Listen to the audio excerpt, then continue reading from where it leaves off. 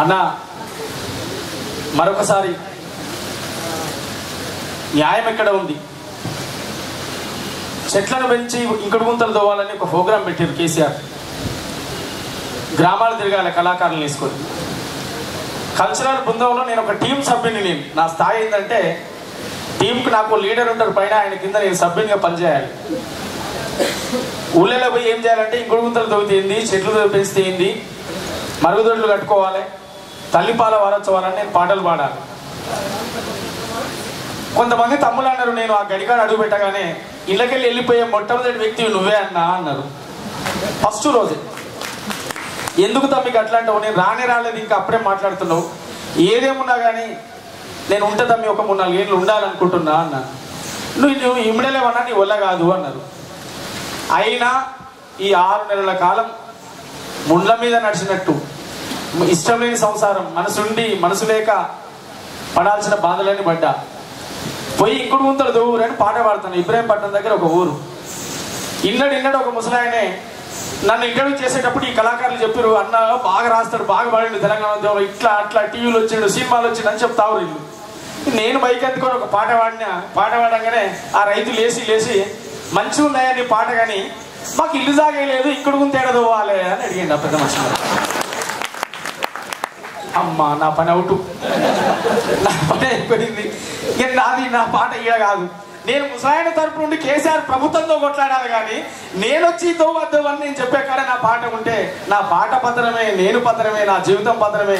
నేను అంబేద్కర్ నుంచి నేర్చుకున్నది ఏంది? నేను వీరన్న నుంచి నేర్చుకున్నది ఏంది? నేను పూలే నుంచి నేర్చుకున్నది ఏంది?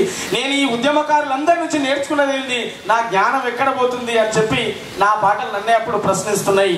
అరవై ఏళ్ళ స్వతంత్రం అంత ఒట్టి అబద్ధం. అరవై ఏళ్ళ స్వతంత్రం అంత ఒట్టి అబద్ధం. పదవుల వేట ప్రజాస్వామ్యం ఎక్కడిది? పదవుల వేట ప్రజాస్వామ్యం ఎక్కడిది? అయ్య దిగితే కొడుకెక్కి ఆస్తులన్నీ పెంచుకుండ్రు.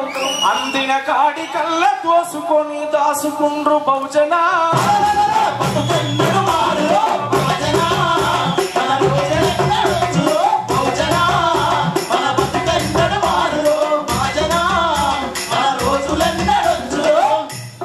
చిన్న సితక పదవునిచ్చి బుధగరిచ్చిరి మనలను ఎంపీటీసీ సర్పంచి వార్డు మెంబర్ల చేసి ముఖ్యమంత్రి ప్రధానమంత్రుల వాళ్ళ గుప్పిట్లో పట్టుకొని రిజర్వేషన్ అయితే తప్ప జనరల్ సీట్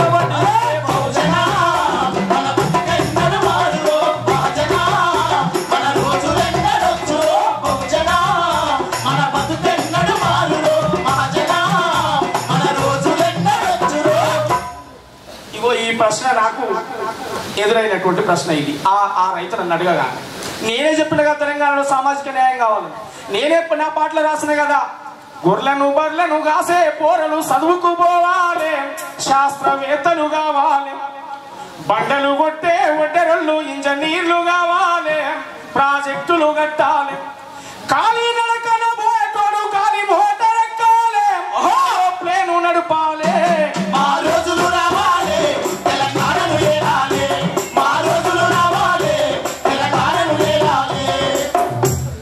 సాకలి మంగలి పోరలు ఎంబీబీఎస్ చదవాలి పెద్ద డాక్టర్లు కావాలి. కుమ్మరి కమ్మరి కౌలల్లు లా పట్టా పొందాలి వీళ్ళు జడ్జిలు కావాలి. అనగారిన పిల్లలు ఐఏఎస్లు కావాలి ఐపీఎస్లు కావాలి.